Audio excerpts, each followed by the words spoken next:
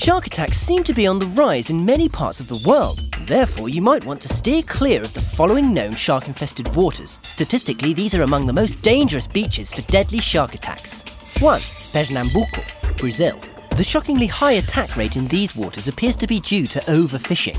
Without enough food supply, the sharks have begun to sample other forms of fare to satisfy their relentless hunger. 2. Second Beach, South Africa. The beach is popular among shark-seeking tourists and cage divers. Tour operators dump boatloads of bloody chum in the water in order to entice the great whites. You definitely don't want to surf or swim anywhere near these boats and their chum lines. 3. New Smyrna Beach, Florida.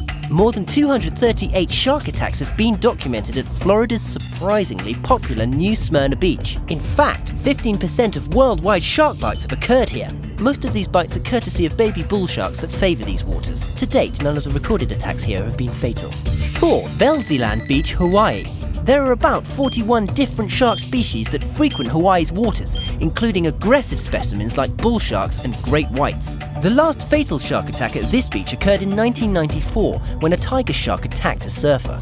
More recent attacks on surfers have been reported, but none fatal. 5. New South Wales, Australia. This region, which includes famous Bondi Beach, has recorded over more than 170 unprovoked shark attacks and more than 50 fatal attacks. And great white shark encounters are more common than in other parts of the world. Due to the position of the continental shelf, swimmers and surfers are in close proximity of deep waters where these potential predators cruise. 6. Fletcher Cove, California. Fletcher Cove may be picturesque, but it is also the scene of 142 unprovoked shark attacks, including some recent fatalities. Scientists are convinced that the fish-strewn waters of this region are ideal feeding grounds for large predators like the great white. 7. Reunion Island, Indian Ocean. This island has had more than 10 shark attacks in a recent two-year period, three being fatal.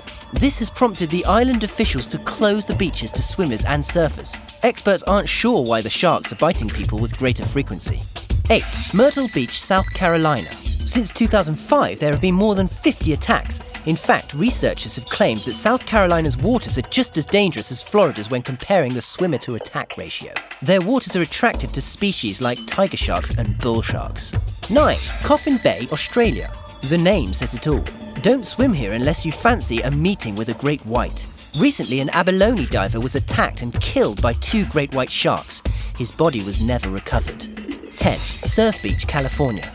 A 19 year old surfer was attacked and killed a few years ago by a great white shark believed to be 18 feet in length. The waters here are home to seals, which attract great whites in large numbers.